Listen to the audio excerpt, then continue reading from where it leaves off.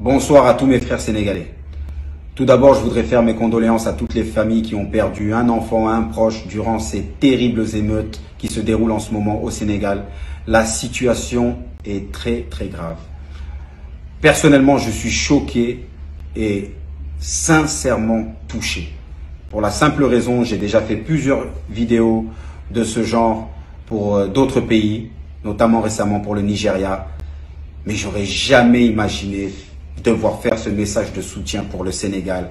Car le Sénégalais est une personne joyeuse, euh, festive, respectueux, bien éduqué. Donc de voir ces images, c'est très choquant. Et je condamne tous ces actes de barbarie. Mais je suis quelqu'un qui a... Un, on me connaît pour mon franc-parler. C'est facile de parler comme ça derrière ma vidéo, car je suis pas au Sénégal en ce moment, je ne vis pas au Sénégal, mais mon père vit au Sénégal, ma mère vit au Sénégal, mon frère Pierrot est au Sénégal, ma sœur docteur Marie-Louise est au Sénégal.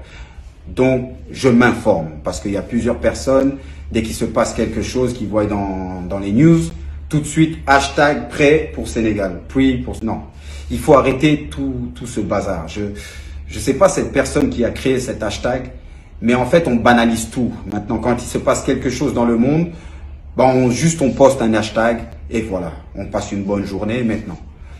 Je suis touché quand c'est un autre pays, mais je suis autant plus touché quand c'est le Sénégal. Et je pense que voilà, si les gens commencent à piller les magasins, etc., pour de la nourriture, c'est que les gens souffrent et en ont marre. Et en ont marre de cette, peut-être, car je ne suis pas un politicien, je suis un simple Sénégalais, à cette corruption. Peut-être aussi cette dictature. Parce que les gens souffrent.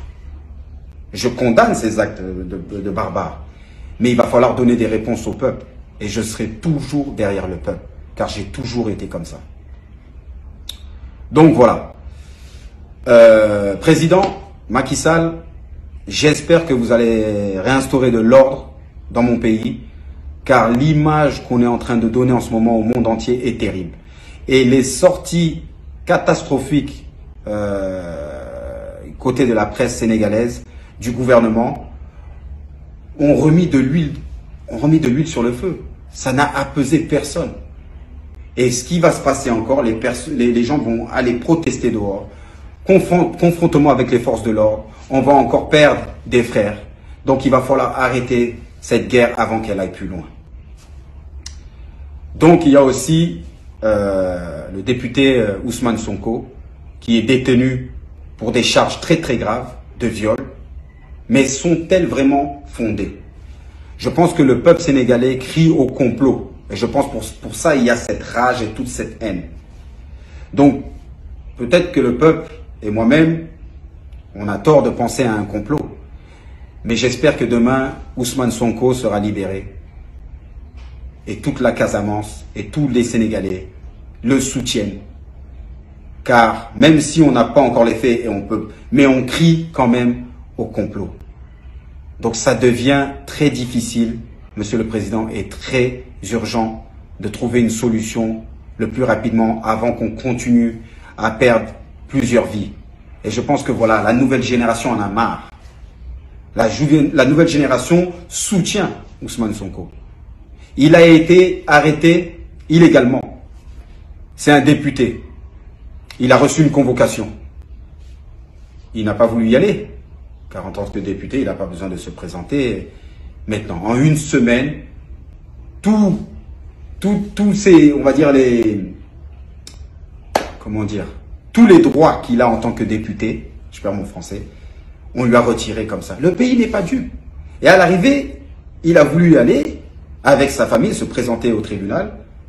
Mais non, on l'arrête illégalement. Et vous, et vous vous posez des questions, pourquoi le peuple est en rage, est en feu?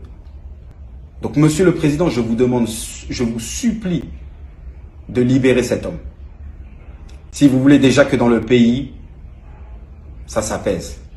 Parce que voilà, on n'est pas des politiciens, mais c'est un complot. C'est quelqu'un qui arrive qui a posé sa candidature, qui est arrivé troisième, je pense, en 2019. Donc c'est un sérieux candidat. Et, et, ça va être difficile de prouver aux gens que ce n'est pas un complot. Donc commençons par libérer Ousmane Sonko. et retrouver une vraie image du Sénégal, une belle image du Sénégal. Donc je vous en supplie aussi, continuez à protester, mais intelligemment. Donnez pas raison à ces personnes. Ne cassez pas les magasins. Et je dis, c'est facile de parler pour moi car je ne suis pas au Sénégal. Mais contenez cette, contenez, essayez de contenir cette rage, cette haine avec des mots. Et aussi, toutes ces personnes qui sont influentes, qui se disent sénégalaises, etc. Il est temps aussi de, de prendre parole et de ne pas mettre ces, ces, hashtags à deux balles. Il faut dire ce qu'on pense. Moi, quand je parle, je parle avec mon cœur. Je prépare pas un discours. Voilà, ça vient du cœur. Donc, je suis derrière vous, tous les Sénégalais, et j'espère qu'on va trouver une solution.